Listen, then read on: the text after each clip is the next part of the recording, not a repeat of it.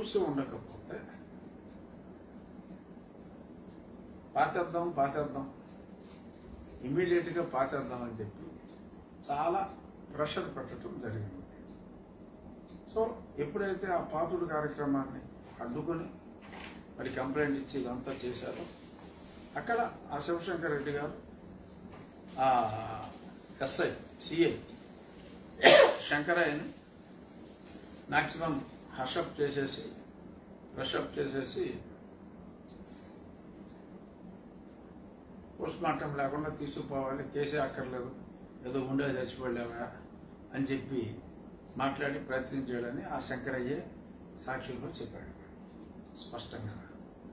ఇక ఈ ఇంకొకటి ఇవాళ వాళ్ళ డిఫెన్స్లో ఎన్నికకి తాళవుతాం డిఫెన్స్లో రాసింది సాక్షి ప్రజలను మోసం చేయడానికి రాసింది.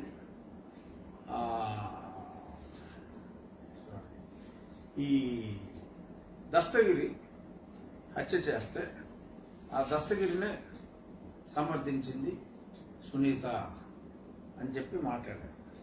ఎక్కడైనా ఒక వ్యక్తి ఒక కత్తితో హత్య చేస్తే శిక్ష కత్తిగా పొడిచినోడుగా బుద్ధులైన ప్రజలు ఆలోచించండి. అంత కామన్ సెన్స్ లేకుండా ప్రజల్ని చచ్చు వెధవలు పుచ్చు వెధవలు ఎప్పుడో ఒకసారి అతను నమ్మి ఓటేసినందుకు ఇంకా పనికిరాని వెదవలుగానే ప్రజల్ని భావిస్తూ మరి అలా రాశారు.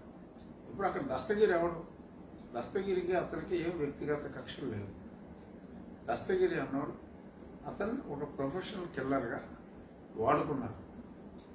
అతనితో నెగోషియేట్ చేసి మాట్లాడించింది ఎవరు? సిబిఐ వాళ్ళు స్పష్టంగా చెప్పేశారు. సిబిఐ వాళ్ళు క్లియర్గా శివశంకర్ రెడ్డి అవినాష్ రెడ్డి వారి తండ్రి గారు వీళ్ళు ముగ్గురు మాట్లాడారని చెప్పి ఈ డీల్ ఫిక్స్ చేశారని చెప్పి చాలా స్పష్టంగా అతను చెప్పాడు. అతను ఏదో సడన్గా అంతకుముందు టీకి కూడా డబ్బులు లేనివాడు ఏదో చేసేసాడు అంటున్నాడు. మరి చెప్పాడు కదా క్లియర్గా పలానా ఊరికి డబ్బులు ఇచ్చాను కొంత నా దగ్గర ఉంచుకొని కొంత అక్కడ దాచానంటే అలా మున్నగాడి దగ్గర కూడా దొరికేసినాయి కదా. బ్యాంక్ అకౌంట్లో డబ్బులు చెప్పులు కొట్టుడి దగ్గర దొరికేసినాయి కదా. మరి ఆ డబ్బులతో దర్జాగా ఉంటాడు కదా. అక్కడికి ఆడేదో నిరుపేదలాగా ఉం? వీళ్ళ డబ్బులతోనే బాగుపడిపోయినట్టుగా. అంటే అతను నిజం చెప్పాడు కాబట్టి ఈ విషయం అంతా బయటకు వచ్చింది. సో కాబట్టి డబ్బులు ఎందుకు ఇస్తారు దానికి? వీళ్ళు డబ్బులు మీరు ఇచ్చారు అది కూడా కవర్ చేయడానికి దస్తగిరితో మాట్లాడుతున్నారు వీళ్ళంటే. నువ్వు ప్రయోగించావు దస్తగిరిని.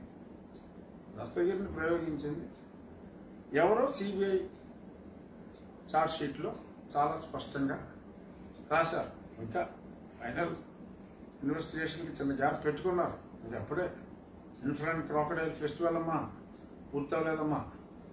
అది ఉంది అసంపూర్ణంగానే ఉండటానికి చిన్న పాయింట్ పెట్టుకున్నారు అక్కడ ఇప్పుడు దస్తగిరి సునీత మాట్లాడకూడదు అది అర్జెంట్గా తిరిగేస్తున్నాడు. కారు డ్రైవర్ ఇప్పుడు కారుకు ఒక డ్రైవర్ని పెట్టుకుని తిరుగుతున్నాడు అనేది ఒక అభియోగం. అసలు దస్తగిరిని మీరేం చేశారు?